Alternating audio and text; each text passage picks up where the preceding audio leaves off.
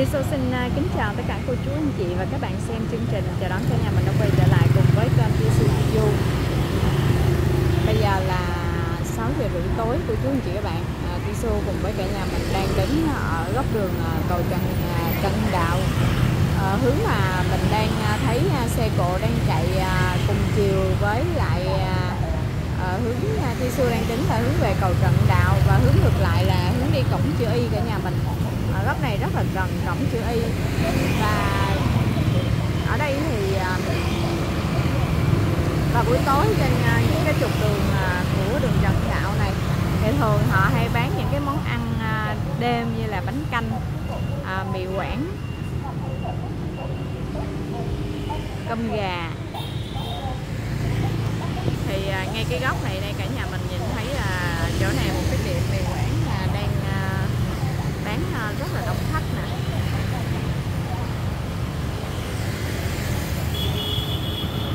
Đấy, bữa tối không biết là cả nhà mình đã ăn tối chưa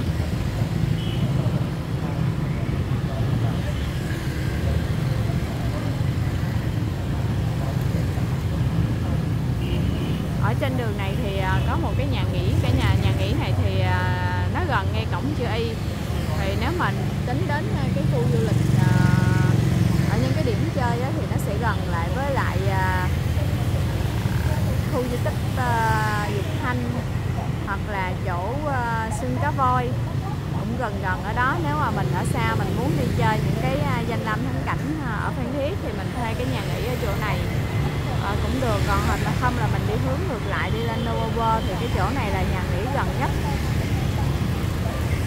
nó nằm ở trên uh, trục đường ờ, Trần Hưng Đạo. Và bây giờ Tisu ờ, cùng với cả nhà mình sẽ ờ, đi dạo một vòng đường phố Phan Thiết vào buổi tối ha. Phường này là thuộc phường Đức Long nha cô chú anh chị các bạn. Ở bên này là có cái tiệm gái bánh canh chả cá chả cuốn nè ở số à, 508 Trần Hưng Đạo thì cái tiệm này à, bán xưa giờ lâu lắm rồi. Thì à, cũng khá là nhiều khách du lịch đến ăn. Vào buổi tối nếu mà cả nhà mình thích cái món bánh canh chả cá chả cuốn à, bánh canh chả giò móng thì mình ghé lại chỗ này mình thưởng thức ha. Lên trên này cũng có một vài tiệm nữa thì dần dần cô Su sẽ giới thiệu cùng với cả nhà mình.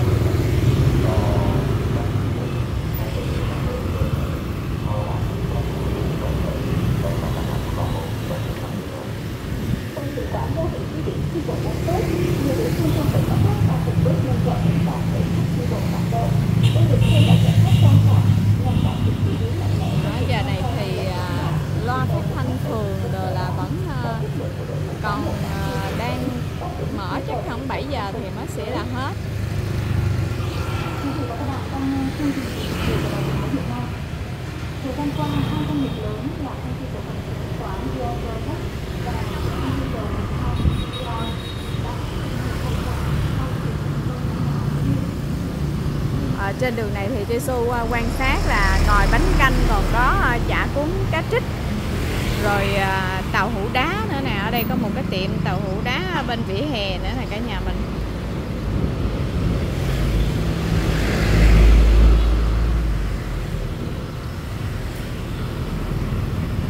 Có người đang qua đường vẫn chưa qua đường ở bên kia đường thì bán tha lóng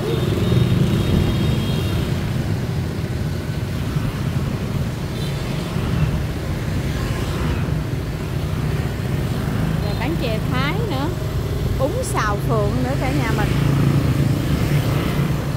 Chè thái với bún xào phượng, hai cái tiệm kế bên nhau. Nếu mà về Phan Thiết, cả nhà mình muốn ăn bún xào thì cái tiệm bún xào phượng ở bên kia đường này cũng là một cái tiệm mà khách du lịch cũng thường đến à, thưởng thức. Thì ở đây họ bán nguyên ngày.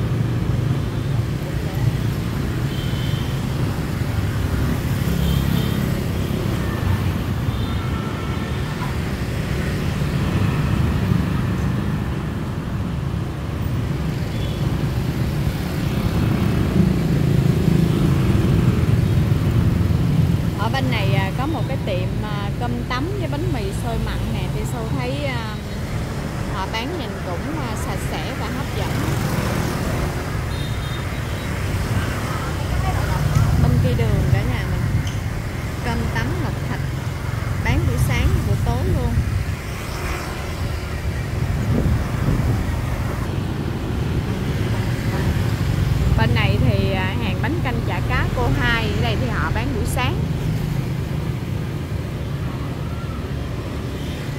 cái này bán buổi sáng còn bên góc này thì à, sửa xe đạp sửa xe máy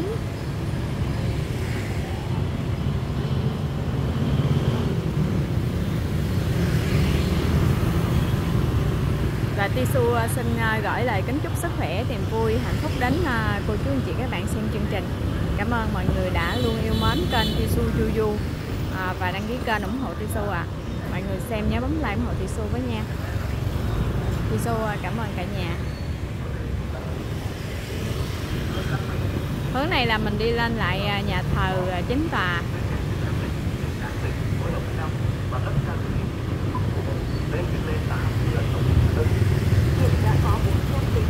đây có một cái tiệm phở gõ mì gõ nè ngay à, trạm xe buýt này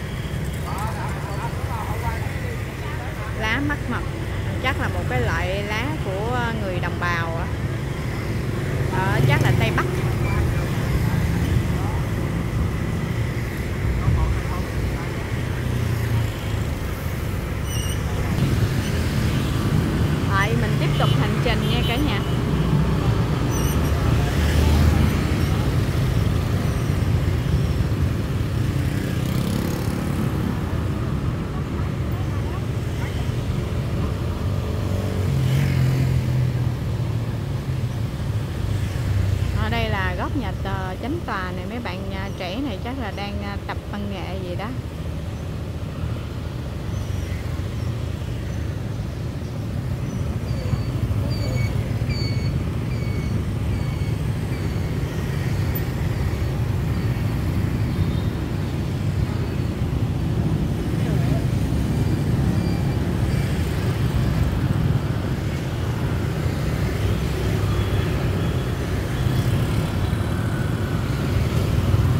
đây Tisu à, với cả nhà mình sẽ à, đi à, trục đường Trần Hưng Đạo thôi.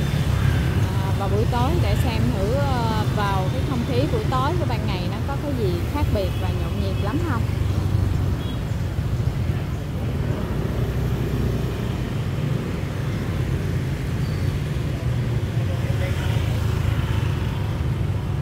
đây mọi người đang chờ đèn xanh đèn đỏ nè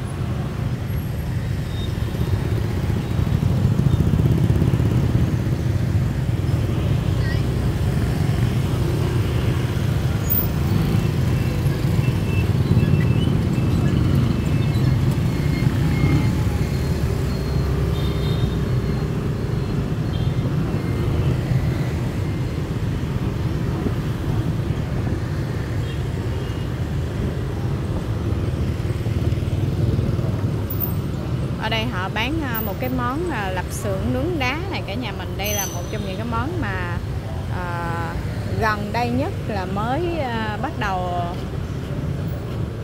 được nhiều người à, biết đến. Và Phan Thiết mình thì tiệm lạp xưởng nướng đá thì chắc cũng phải à, 10 20 tiệm gì đó. Món ăn à, thức ăn nhanh. À, trẻ thì rất là thích. Ở đây có hàng chuối nướng nữa nè. Dạ, à, chuối nướng bánh à, trái cây sinh tố.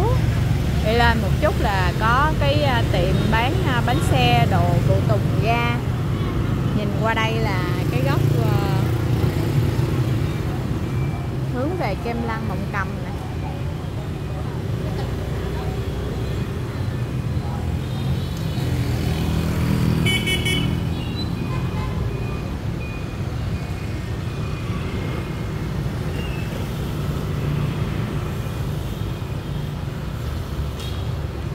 đường trận đạo này vào buổi tối thì nhiều quán ăn lắm cả nhà.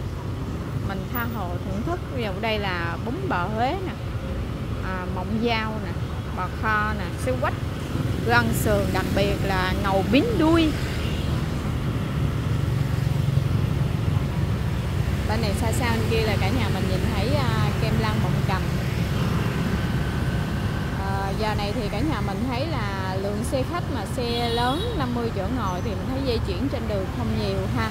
Nhưng mà xe 4 chỗ xe 7 chỗ thì khá là đông. À, buổi tối thì à, đèn đường với ánh đèn vàng thì à, cả nhà mình thấy là tạo được cái à, độ sáng cho con đường thân quen.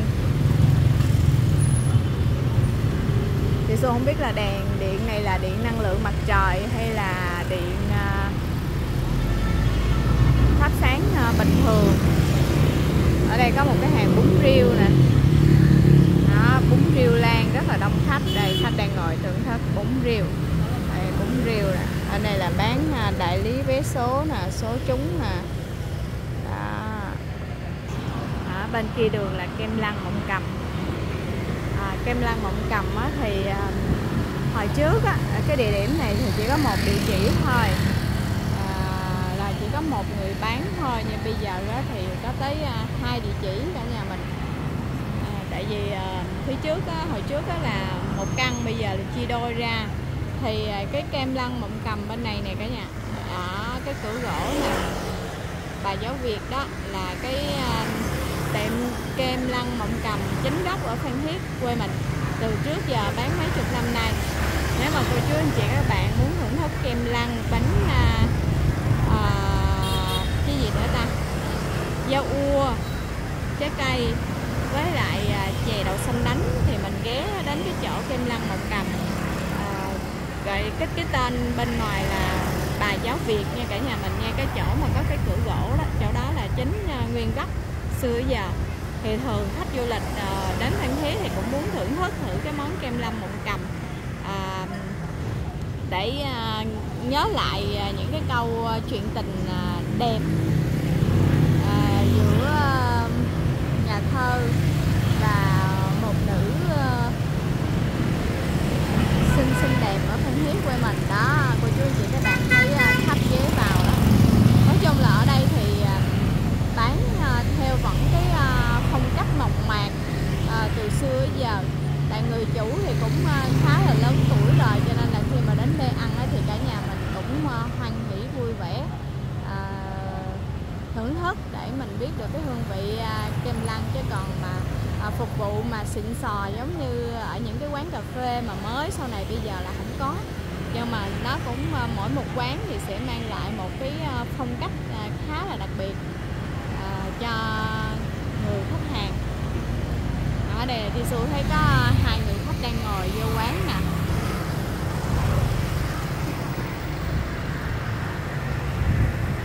Đó, cả nhà mình thấy à, cái tiệm à, rất là nhỏ nhỏ có khách đang vào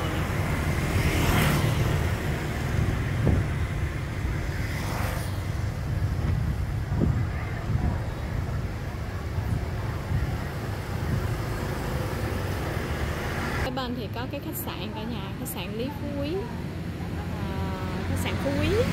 Cả nhà nếu như mà muốn à, ở trên đường à, Trần Hưng Đạo à, cái góc mà như chợ Phan Thiết chợ lớn thì cả nhà mình có thể ở đây rồi mình di chuyển ra Mũi Né chơi hoặc đi về muốn đâu thì nó vẫn gần hơn là ở trong cái khu vực kia. Rồi bây giờ chúng ta sẽ đi tiếp tục hành trình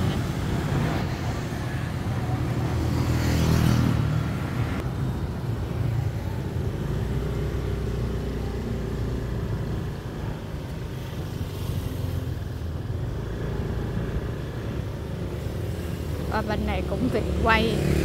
Gà quay.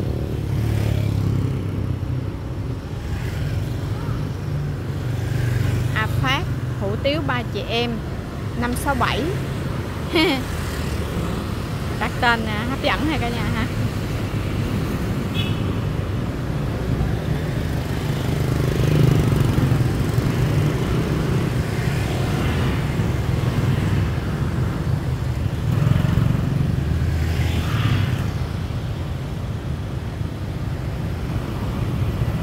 ở ngay vị trí à, mình vừa ngang qua ngày xưa là một cái hãng nước đá cả nhà mình bây giờ thì à, à, công năng à, được sử dụng ờ, để làm à, cơ quan làm việc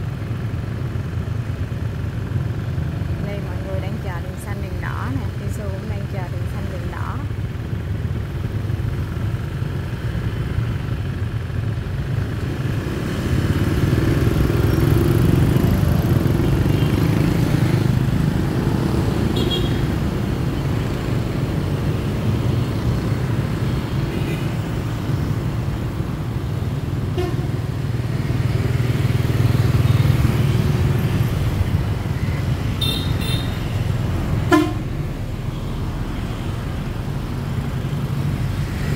à, dừng lại một chút ở đây à, bên góc trường này là trường à, tiểu học Đức Thắng 1 hồi xưa là góc trường Nam đúng không cả nhà mình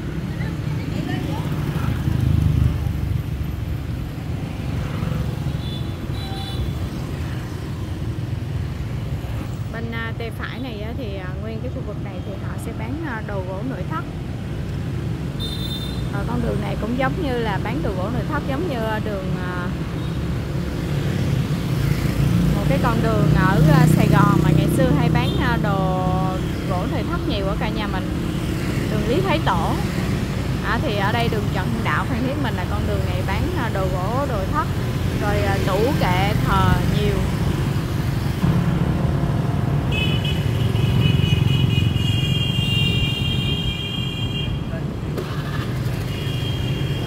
dạ Tiên Xuân Du Du dạ dạ dạ cảm ơn ạ dạ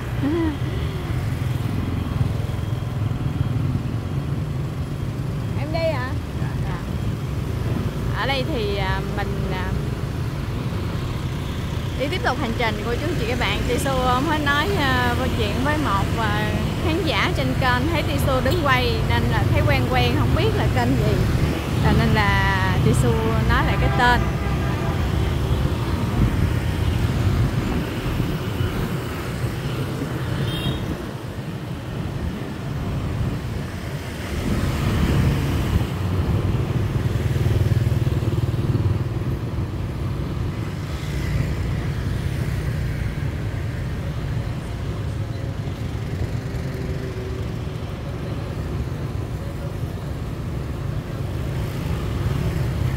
Phan Thiết á, vào buổi trưa á, à, khoảng à, từ 12 giờ đến 1 giờ thì hơi nắng nóng một chút.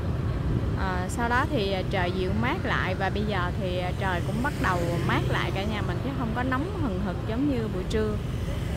À, buổi sáng thì cỡ 8 9 giờ cả nhà mình đi ra đường á, thì à, nó hơi nóng một chút cũng giống như hồi sáng này Tisu đi tìm con đường quay cho khán giả trên kênh mình tìm không ra mà à, trúng trời nóng nữa cho nên là nó rất rất là phê luôn. Góc này à, là góc đường đi vào à, chợ Phan Thiết nè cả nhà mình đường Ngô Sĩ Liên ở góc này.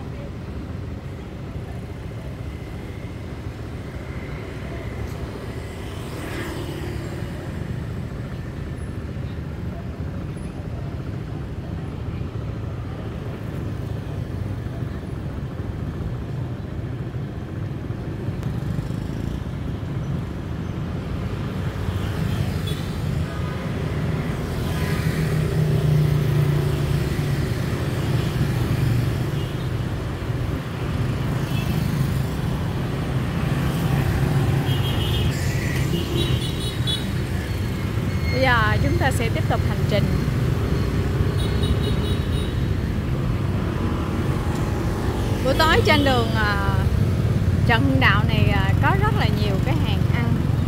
Mà hàng ăn ngon, cả nhà mình bán ờ, cỡ 10 năm 20 năm trở lên rồi, chứ không phải là mới sau này. Đây là đường đi cây gà ga Phan Thiết nè, đi lên Nova nè. Đây là cái tuyến tuyến du lịch này cả nhà mình. Đây, hên quá. Đây, bảng giá vé nè. 10 km là 8 ngàn 20 là 11 ngàn 230 là 36 ngàn để thi tu coi xe buýt này số mấy? Số 6 cả nhà mình. Đây xe buýt này xe buýt số 6 mình đi cây gà đi Nova World đi hướng uh, của uh, uh, lên ga xe lửa là đi xe buýt số 6 nha cô chú anh chị các bạn nếu mình có nhu cầu đi chơi thì tìm cái xe buýt số 6 để mình đi. À, tuyến này là tuyến số 3 là đi uh, bến xe Cốc Mắc Phan Thiết Thành bên này đường là có hàng bánh căn, hàng bánh căn cô sáu, bán khá là lâu năm ở Phan Thiết quê mình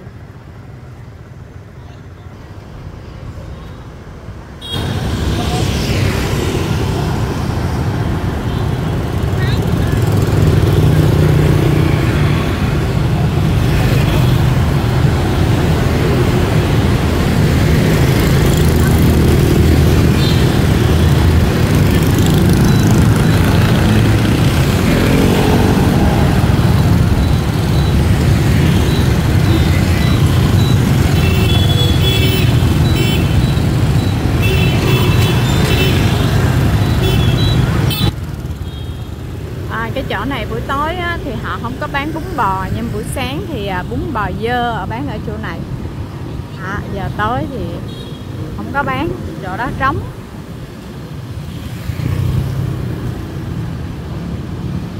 bên đây là nhà sách à, Hưng Đạo nè chỗ này à, bán sách giáo khoa được các thứ là rẻ ở bên này thì à, có khách sạn Thanh Tuyền này cả nhà mình.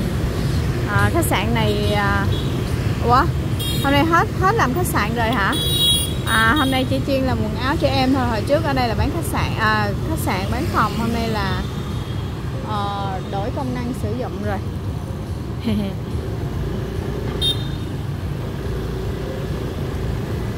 Nhà thuốc Hồng Hưng ngày trước nè. Cô chú anh chị các bạn à, còn à, còn lại ờ, một vài cái địa điểm mà cũ mà khi mình nhìn thì mình sẽ nhớ về Phan Thiết xưa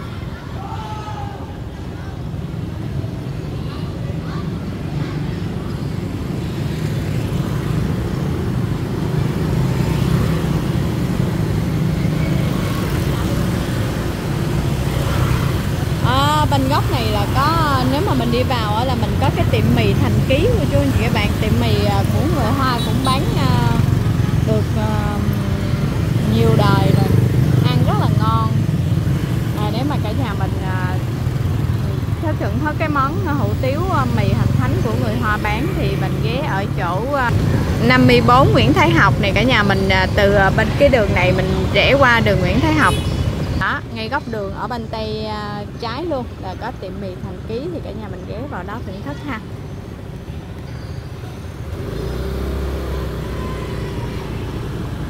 à, thì Su muốn tìm à, một chút cái biểu tượng mà mới sau này đây à, của à, mấy bạn trẻ hay chụp hình check-in ở Phan Thiết. Và buổi tối nó có cái bông hoa gì có đèn á nhìn rất là đẹp. Mà thì Su cũng không biết nó nằm ở góc nào. À, lúc nào của cầu trận đạo á.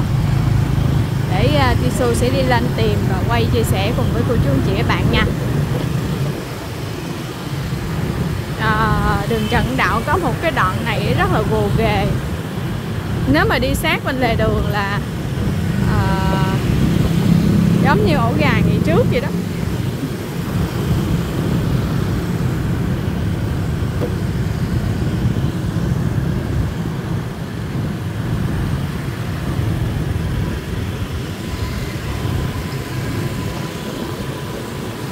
À, thì sẽ rẽ qua đường qua cái chỗ mà công viên ờ, mới vào buổi tối coi cái độ sáng của nó như thế nào và có gì đặc biệt lắm không?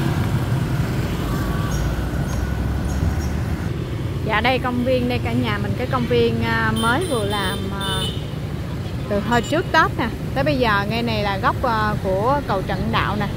Ở ôm cua xuống là có cái công viên. Sau này xanh ngát một màu. Kia là biểu tượng tháp nước của Phan Thiết. Chỗ này công viên cho nên là đèn rất là sáng ha. Sáng rực rỡ một con đường luôn á. Ở đây sau này những cái nhà ở gần đây thì à, tối tối ra trước à, đi bộ dạo phố dạo mát tập thể dục nâng cao sức khỏe.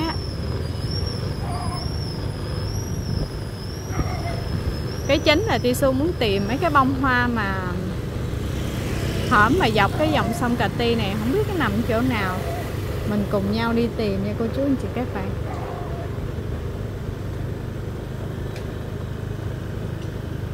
Bên này là hướng ờ, của chợ Phan Thiết nè đường Trưng Trắc nè.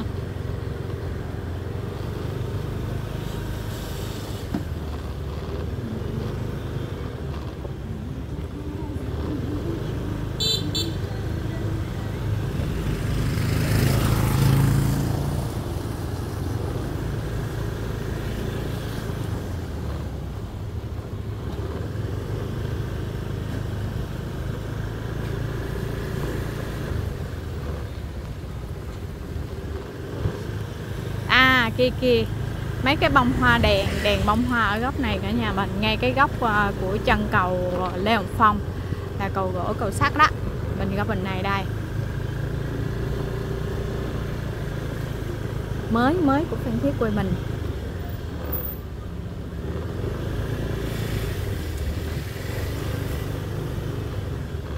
Ừ, cả nhà mình thấy à, sông Cà Ti bây giờ đẹp không? Đây họ dở những cái ờ, hồi bữa tết đó là có mấy cái ô đúng không? Mấy cái ô rồi mấy cái tôn à, che lại nha. Bây giờ thì mình thấy là dở ra rồi bên kia của sông Cà Ti ngay cái bờ thành á là có ờ, đèn thay đổi màu sắc. Cho nên khi mình đứng bên này ờ, tạo nên một cái cảnh quan rất là đẹp ở sông Cà Ti nè. Rất là mát luôn biểu tượng của Phan Thiết quê mình.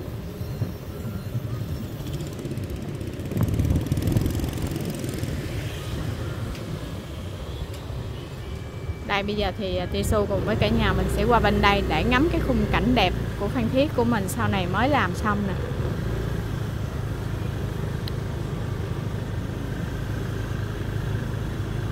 Chỗ này là mỗi năm bắn pháo hoa ở đây.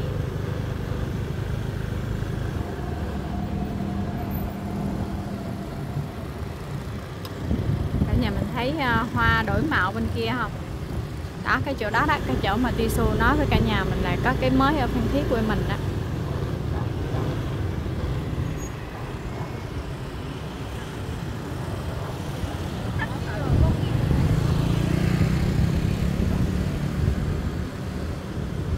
Cái chỗ này mấy hỏng à, hình như Tisu nhớ có một lần hà 12 giờ đêm ha. Tisu đi à, quay ở chỗ này họ bán cà phê vào buổi tối nè. Ê Xô định đi lên cầu.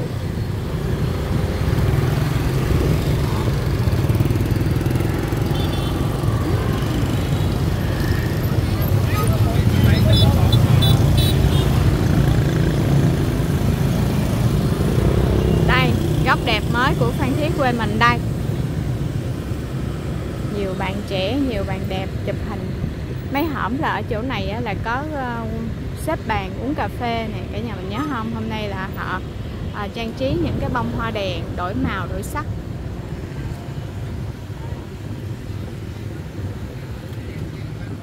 Đây thì xu quay cái chỗ này đẹp cho cả nhà mình xem.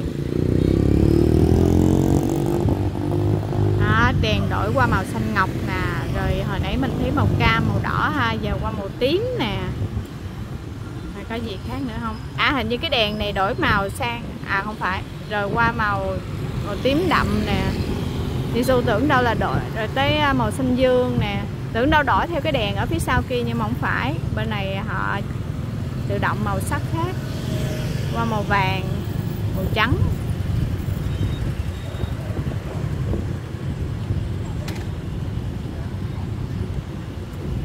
Màu xanh. Đó thì à, giờ này là có ờ, khách du lịch rồi đó thì họ sẽ lại đây họ chụp hình. Dạ.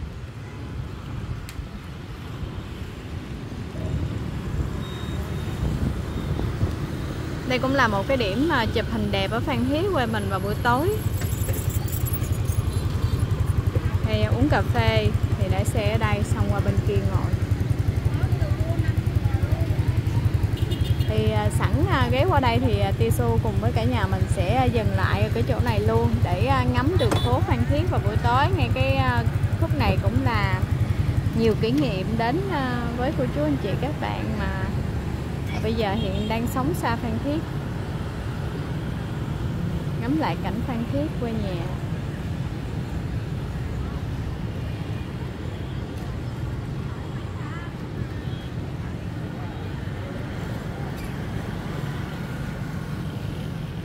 Và đến đây thì à, uh, Tisu trân trọng cảm ơn cô chú anh chị các bạn đã luôn đồng hành cùng với kênh Tisu Studio uh, kính chúc sức khỏe niềm vui hạnh phúc và bình an đến mọi người và mọi nhà.